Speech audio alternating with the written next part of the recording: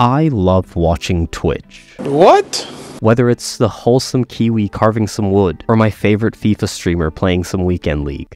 Man, I'm gonna...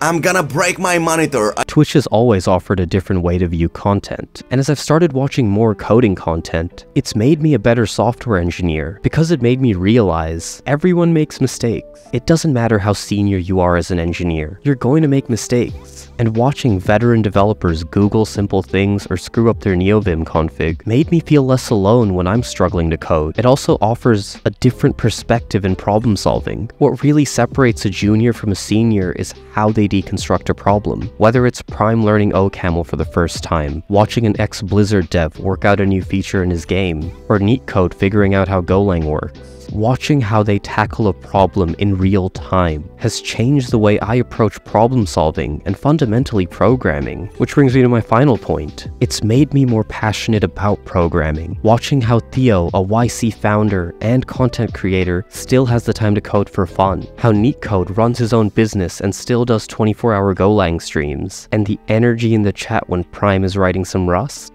it's made me fall in love with programming in a whole other light, because fundamentally I'm just a fan. I'm a fan of programming, a fan of software engineering, and so grateful to be learning from all these amazing engineers. Thank you for your time, I'm Big Box.